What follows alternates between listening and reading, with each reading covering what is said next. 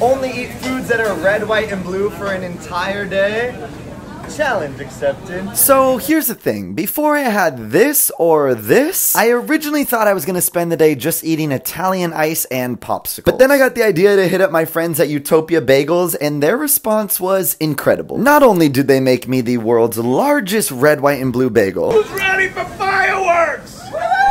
They also completely blew my mind by making these red, white, and blue egg and cheese bagel sandwiches. And as if it couldn't get any crazier, Utopia then connected me to Krave It Pizza, who made the most epic red, white, and blue grilled cheese pizza that's known for having a 10 foot cheese pole. Now, if anyone needs me, I'll be watching the fireworks show that's happening inside my stomach right now.